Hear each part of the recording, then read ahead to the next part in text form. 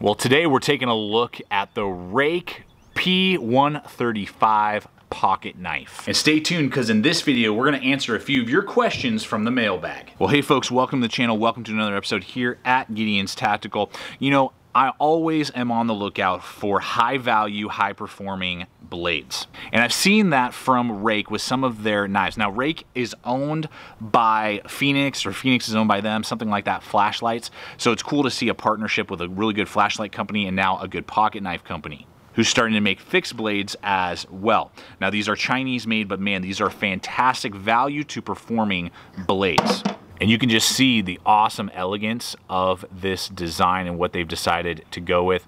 All the materials are fantastic. The fit and finish is perfect. And you know, we talked about this concept with another company, Kizer, recently, and another Chinese company that does amazing performance and amazing fit and finish. But you know, you can get knives for $175. This one comes in at $50. We're gonna have links in the description below over to Amazon and Blade HQ. We really appreciate it when you guys use those hyperlinks. If this blade or any other pocket knives that we talk about today or other gear connects with you, when you guys use those hyperlinks, helps me get out there, make content just like this. So thank you for your support. And for $50, I think you're getting a really sick blade. GT Jr. is gonna join us here for just a second as we continue to talk.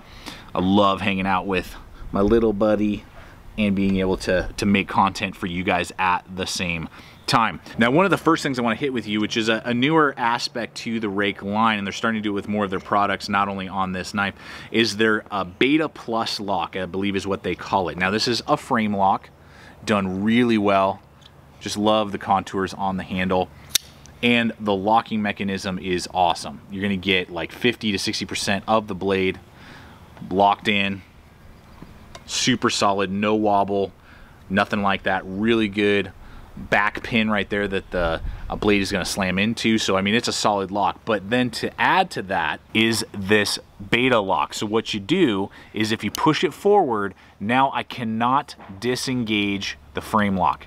It'll wobble side to side, not wobble, but you know what I mean. There's travel side to side slightly, but I cannot disengage the lock. And then when I snap it back down, I can easily open and close the blade. So it's just like this little cool extra backup you know, safety feature. Uh, if you feel like you're gonna be really bearing down on the knife and doing some harder tasks and you don't wanna have your hand accidentally disengage the frame lock or something like that, I think it's a really cool added bonus. I'm not normally gonna use it in my day-to-day -day tasks, you know, eat, opening up an Amazon package that arrived at my house, you know, doing some food prep, uh, maybe, you know, cutting through some rubber, something like that, cardboard, you know, which is majority of what we're gonna be doing with these knives. I don't think it's needed. It's a cool added bonus for those of you who want to deploy it and use something that has this extra locking feature. It's cool they're doing it and it's very functional and does its job. Next up is the deployment. We've got a really, really nice thumb ramp right there in the flipper.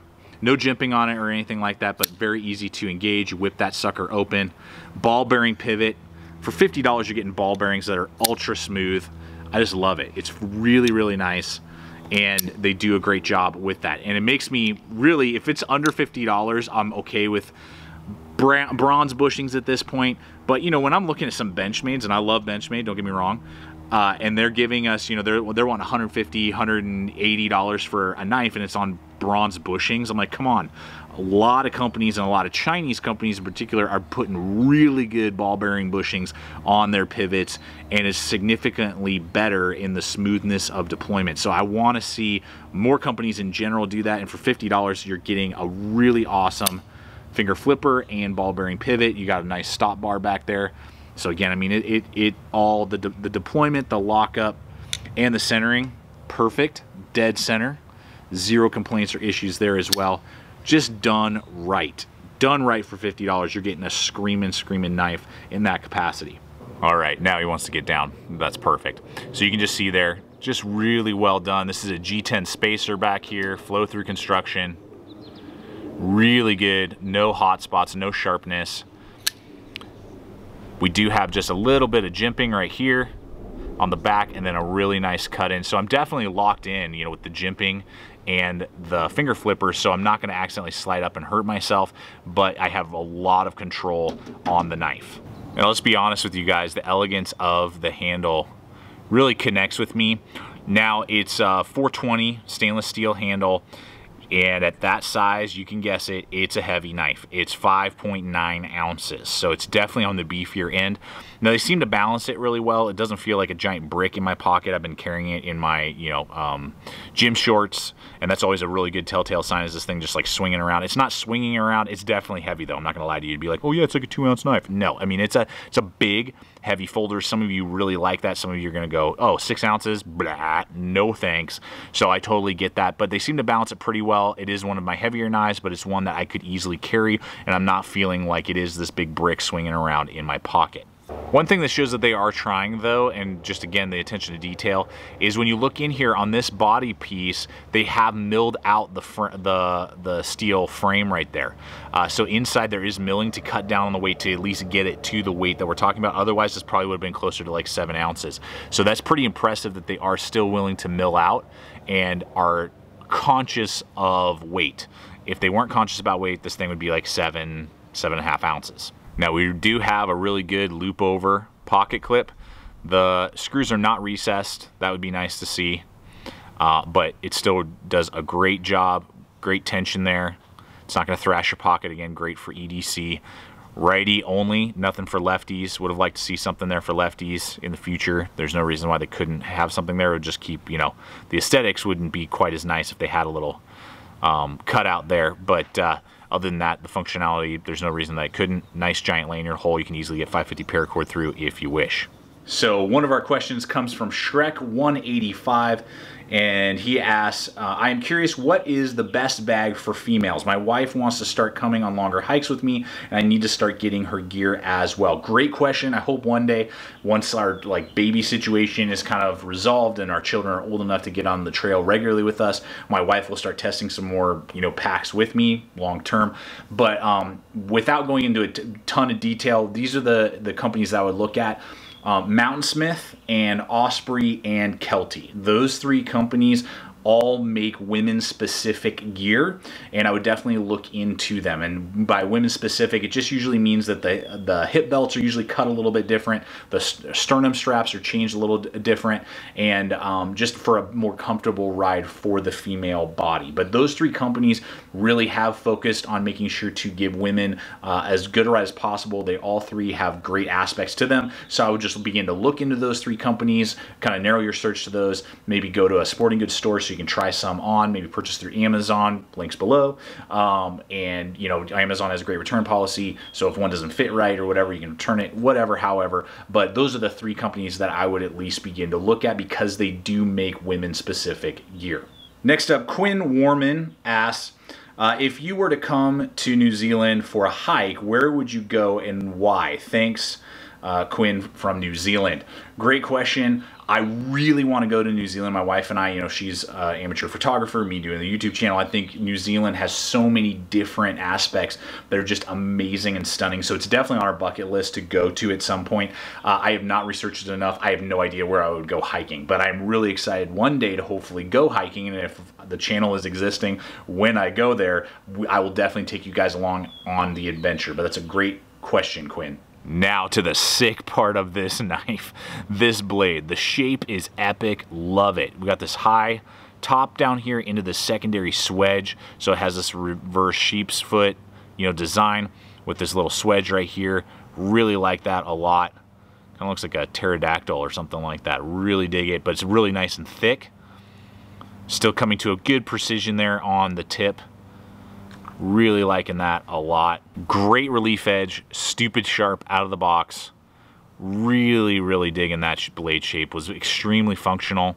Back at the spine, it's to be 0.14, which is a little on the thick end, but they taper it down, and with the grind angle, I did not notice any thickness issues, you know, binding up and, you know, prohibiting some of the slicing capability of the knife. It looks to me like a very high saber grind.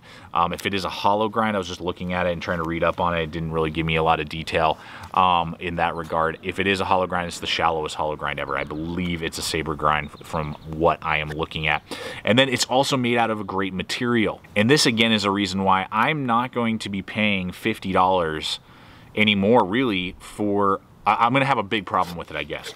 For like 8 and 8CR, um, you know, 13 MOV steel blades, 8 CR14 or whatever blades, is because for 50 bucks, I'm getting all this fit and finish, all this elegance, all this, you know, performance, and then I'm getting Sandvik 14C 28N steel with a Rockwell of 58 to 60 that has been cryogenically treated. So, I mean, this is like the best um, uh, what is it, 14C 28N Sandvik steel you can get. I mean, this isn't like some joker, like, yeah, we just kind of like bought it just to say the name on it and we didn't really do anything with it. I mean, they rock welded it high, they heat treated it well, and so this is gonna hold a really, really nice edge, far surpassing your AUS-8s, far surpassing your 8CRs.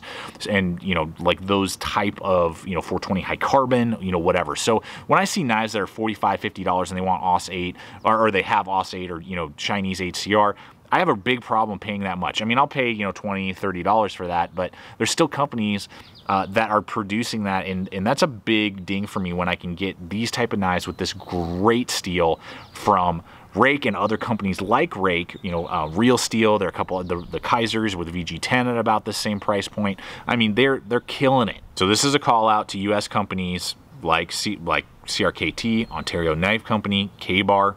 Uh, some of these knives that I've seen recently coming out that I'm like, these this is junk steel, and you're wanting me to play, pay close to $50 or $50 for it in comparison to what I'm getting on this knife and many others. It's it's a no-brainer for me. So for size perspective, just want to run in here real quick. The P801 previously reviewed. Same steel, Sandvik 14C28N, frame lock, same pocket clips, uh, you know, steel body, steel body. It will not have the Beta Lock Plus right here, this little secondary lock, and uh, isn't just quite as large. But other than that, you're getting basically the very similar knife, just a little lighter, a little more, more compact, full flat grind versus a saber grind uh, and it's going to be you know $20 less. It's going to be $30. So we'll have links in the description below for this guy if you're wanting something a little bit lighter, a little bit smaller, and um, just similar but wanting to save a little bit on the pennies, still getting a great EDC knife, the P801.